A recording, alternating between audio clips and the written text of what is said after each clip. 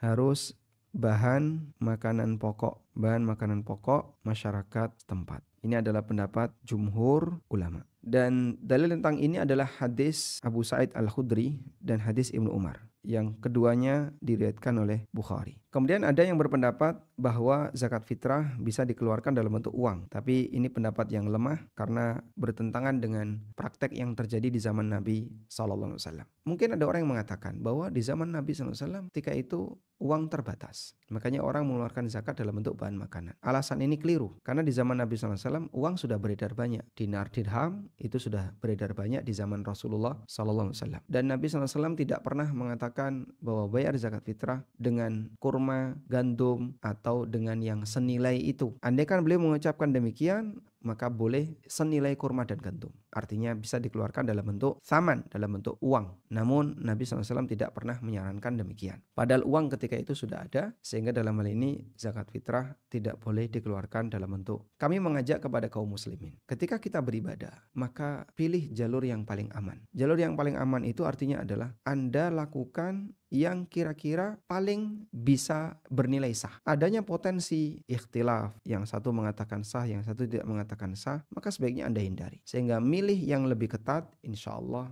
itu yang lebih selamat. Karena tentu saja kita mengharapkan ketika ibadah itu diterima dan bernilai sah. Maka saat melakukannya, jangan terlalu membuat longgar, membuat kelonggaran dalam hal ini, mengambil banyak kelonggaran dalam hal ini bisa berbahaya. Kan masih ada ulama yang membolehkan. Iya, tapi ingat, itu pendapat yang lemah. Dalam posisi ini, amalmu bisa dalam taruhan antara diterima dan tidak antara sah dan tidak. Tapi kalau mengambil pendapat ini, ulama sepakat pasti sah. Kalau yang ini ada yang mengatakan tidak sah, kalau yang ini ada yang mengatakan sementara yang satunya semua sepakat sah. Semua ulama sepakat bahwa bayar zakat fitrah dengan bahan makanan itu pasti sah. Tapi kalau membayar zakat fitrah dengan uang, jumhur ulama mengatakan tidak sah. Sebagian ulama mengatakan sah.